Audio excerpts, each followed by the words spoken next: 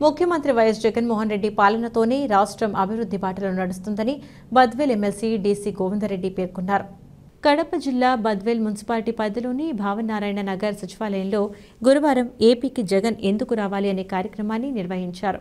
ఈ కార్యక్రమానికి ముఖ్య అతిథులుగా బద్వేల్ ఎమ్మెల్సీ డీసీ గోవిందరెడ్డి హాజరయ్యారు.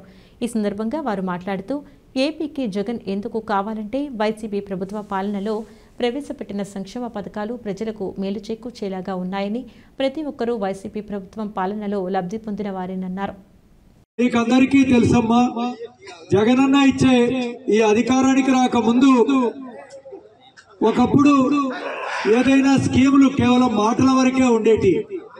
ఆ వచ్చే డబ్బు ఏ విధంగా ఖర్చు పెట్టాలి అనేటువంటి వాగ్దానాలు సరిగ్గా మరి చెప్పేవాళ్ళు కాదు. చెప్పినవి ఆచరించేవాళ్ళు కాదు.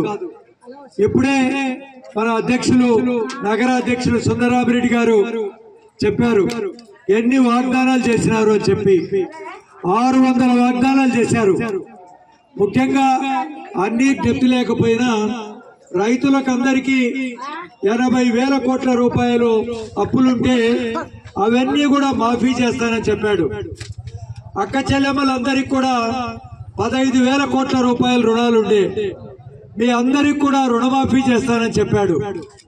మూడోది ప్రతి కుటుంబానికి కూడా ఒక ఉద్యోగం ఇస్తానని చెప్పినాడు.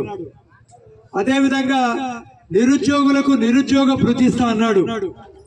నాకు బాగా నెప్తుండేటి నాలుగు. నెప్తి కొంతమందికి అన్ని తెలుసు. ఆయన మేనిఫెస్టో ఆ డెబ్బై రూపాయలు కూడా ఒక ఒక వార్డు కానీ ఒక పంచాయతీ కానీ ఐదు మందికో ఆరు మందికో ఇచ్చే పరిస్థితి అప్పుడు. తర్వాత మన ప్రీతం నాయకులు డాక్టర్ వైఎస్ రాజశేఖర గారు ముఖ్యమంత్రి అయిన తర్వాత రెండు వందల రూపాయలు పింఛన్ చేసి ప్రతికి ప్రతి పేదవారికి ప్రతి అరుగులందరూ కూడా ఆ రెండు రెండు వందల పింఛన్ ఇచ్చే కార్యక్రమం ఆయన నాయకత్వంలో ఆయన ముఖ్యమంత్రి ఉండడం జరిగింది. ఆయన ఉండగా హౌసింగ్ కూడా రాజశేఖర ముఖ్యమంత్రి అయిన తర్వాత ఎంతమంది హౌసింగ్ కట్టే వాళ్ళు ఉంటే అంతమంది కూడా హౌసింగ్ ఇచ్చేది రాజశేఖర ముఖ్యమంత్రి ఉన్నప్పుడు. మీరు అదే అంతకుముందు ఆయన ముఖ్యమంత్రి ఉన్నప్పుడు చంద్రబాబు నాయుడు ఎందుకు ఇవ్వలేకపోయారు? ఎందుకు పేదలంటే ఆయనకి అభిమానం లేదు మీకు అందరికీ తెలుసమ్మా మన మన జిల్లా వాసి రాజశేఖర ముఖ్యమంత్రి ఉన్నప్పుడు బ్రహ్మాండంగా మనకి తెలుగుగా చూసాం?